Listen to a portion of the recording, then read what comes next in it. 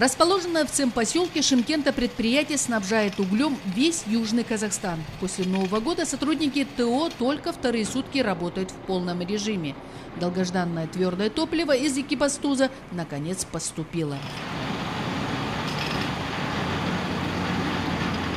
В первую очередь уголь отгружают предприятием Юга. Так, например, представитель цементного завода загрузил полный КАМАЗ. Не замерзнут сегодня и жители Актаса. Асан Тойшиев, занимающийся перевозкой угля в частный сектор, довезет его до места, где твердое топливо уже на подходе. Трудно стало работать, не знаешь, когда будет уголь. Говорят, что вагонов нет. Я уже пятый год занимаюсь перевозкой. Такого раньше никогда не было. Такая ситуация сложилась в конце прошлого года. Приходится ждать уголь неделями. И это несмотря на то, что он подорожал. Тонна сегодня стоит 12 600 тенге. Специалисты предприятия подтверждают, цена на уголь действительно выросла. Если раньше поставщики отпускали тонну твердого топлива по 11 тысяч, то уже с нового года она выросла еще на 1600 тенге.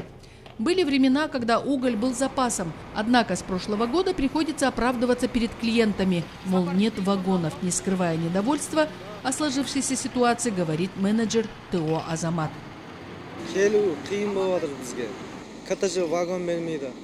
Из-за несвоевременной поставки вагонов уголь к нам поступает с опозданием. Ждем твердое топливо неделями, а ведь у нас есть обязательства перед клиентами. Это и предприятия, и тепличные хозяйства.